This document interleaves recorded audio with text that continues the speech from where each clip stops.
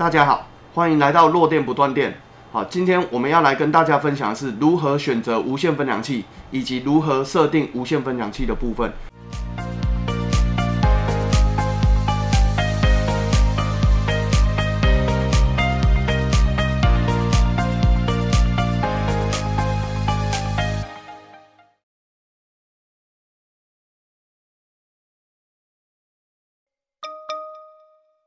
好，那首先选择无线分享器，第一就是要选择你要找目前比较常用、常见到的 WiFi 五，或者是现在目前比较新的 WiFi 六。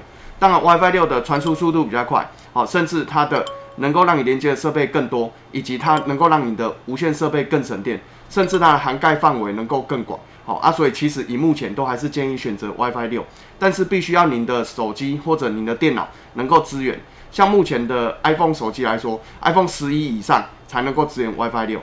好，那第二就是你要选择的是双频或者是三频的频率的部分。那频率当然它就有分二点四 G 或者是五 G 的部分。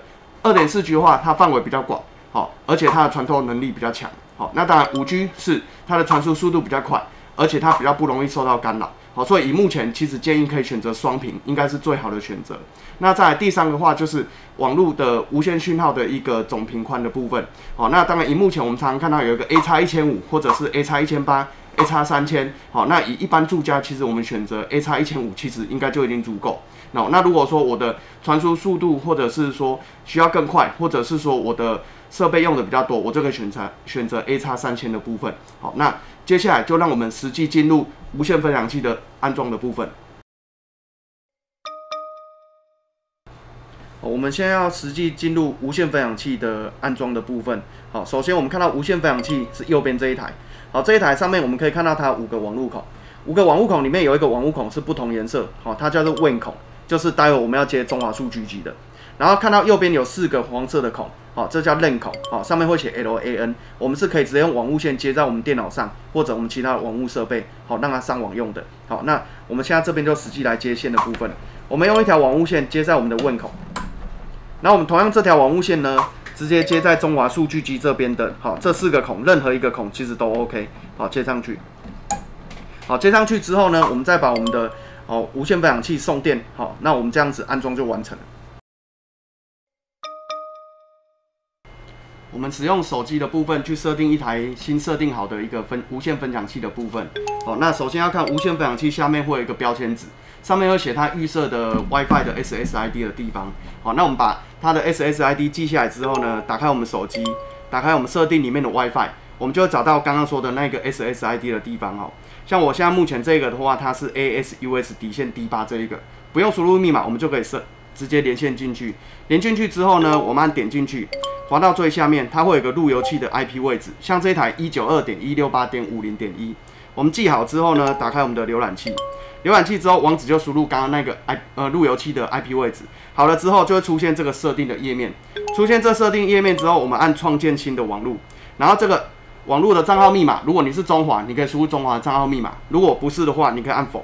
按否之后，这边他会请你去输入你的 WiFi 的账号密码密码的部分。吼，好，那 WiFi 的账号密码部分的话，这边好，例如说我们输入一下 TW，好好，例如说我们账号叫 Test 一二三。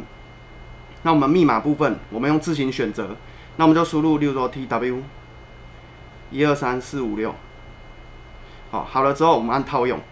套用之后，这边按下一步。下一步之后，这边会请我们输入，好，去设定我们路由器的一个账号密码部分。好，那我们就随便设定一下。好，那我们设定好之后，再按下一步。好，其实我们这样大部分设定就已经完成了。好，那我们现在。等到它下一个页面这边，它要请我输入，呃，就是更新韧体，那我们就取消，不用更新。然后现在是你的 WiFi 的设定部分，那我们可以把它拍照起来。好，那我们现在就再到我们的设定里面，我们 WiFi 的地方啊，我们去更改我们的 WiFi，改成我们刚刚设定的 Test 一二三这个部分。好了之后连上线之后，我们再去测试我们网络有没有通。好，我们现在再打开我们浏览器。好，那我们打开 Google，哎，能够连上线了，这样我们设定就完成了。今天跟大家分享的是如何选择无线分享器，以及如何安装设定无线分享器。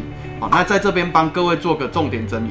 好，第一，好，如何选择 WiFi 五跟 WiFi 六？好，首先要先确认自己的手机及电脑是否支援，好，或者是日后我们的手机是不是升级之后可以使用到 WiFi 六，那我们就可以考虑选择 WiFi 六。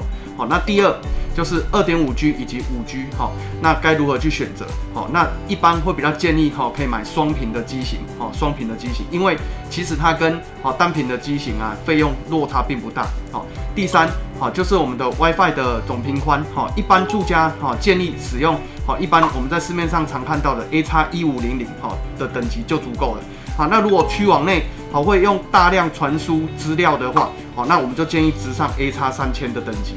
OK，好，那再来的话是分享器的设定部分，好，我们有五个步骤。第一，好，连接数据机，好，第二，好，我们手机搜寻 WiFi，第三，设定 WiFi 的账号密码，好，第四，好，设定分享器的账号密码，第五，好，开启浏览器测试连线。今天跟大家分享的是无线分享器的基本设定，好，那我们下一集会跟大家分享，好，无线分享器它的进阶设定的部分，好，例如说，哎，我们可能家里有安装监控系统，或者我们有装那种就是 NAS，好，硬碟的那种网络储存器，好，那我们该如何去设定我们的网络呢？好，请大家敬请期待。如果各位观众朋友对我们的频道的影片内容有兴趣，欢迎在我们影片下方帮我们按个赞，好，同时也请您订阅、分享我们的频道，也别忘记了要帮我们开启小铃铛。我们下次影片再见，拜拜。